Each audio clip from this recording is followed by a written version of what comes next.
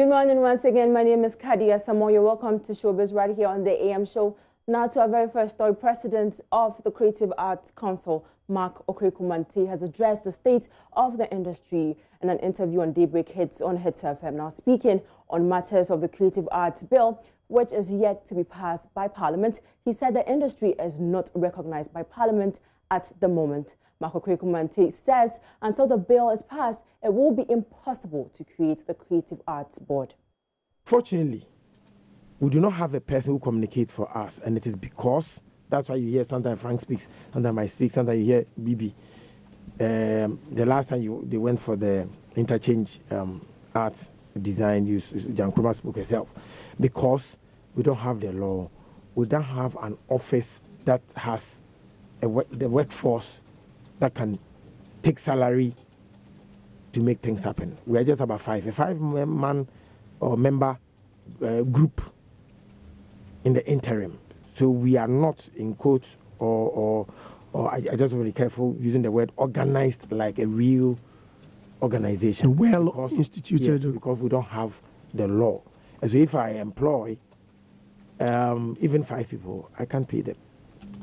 So we are doing a sacrificial job sort of for now. So now let me go on the things mm-hmm. that I think we remember in our first the, the, the first time Honorable Catherine Afeku outdoored the Creative Art Council at the Ministry of Tourism, Art and Culture. Those of you who were there, she said that our job is to see to it that we are going to get go around and get people to come put, to put them together as a board. Olamba, was it like that? I wasn't there. We were in there. Okay, I know, I know. Yes. So we, that was what we were supposed to do put a board together. We, we moved one or two steps and got to know that without the bill or the law, there was no way we could have done that. It is illegal to even start. So as I talk to you, some people like Uncle Lebo White, some people like, um, despite letter didn't get to him, um, uh, who? Frank, from the letters. We distributed about Yola, Yola. Teresa, Teresa. We gave some letters out. Nana Fredia. Yes. Inviting them to come on the board. Guess what? Today, some of them ask, uh, what happened to it?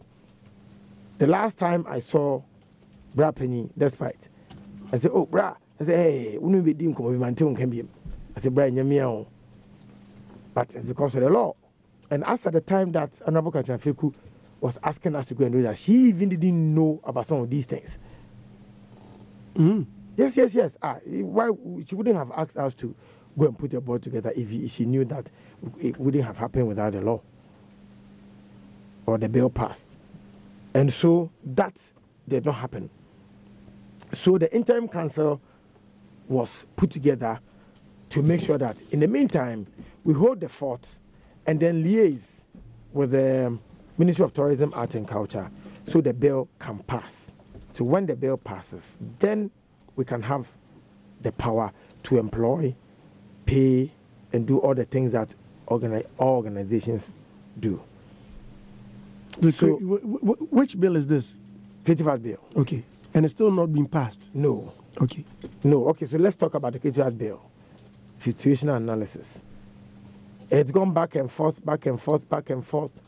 The last meeting, or the last one meeting, was on um, um, um, changing from a council to an agency. I'm not going to give details because it is a confidential document mm. until it gets to Parliament. Now, this bill, what will it do?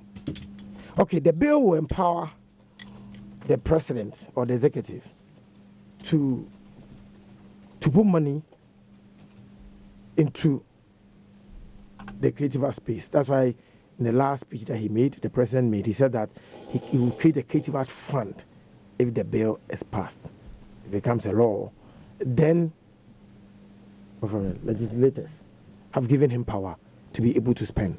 For now, if my uncle Ken Ofori-Atta goes to parliament and he uses, he met yeah, so we are all waiting for the bill to be passed. Aren't we tired already about this whole back and forth, this whole whatever, whatever? Yeah, we're tired. Well, even when it was, uh, as it is a council, how have we all, how has the industry benefited?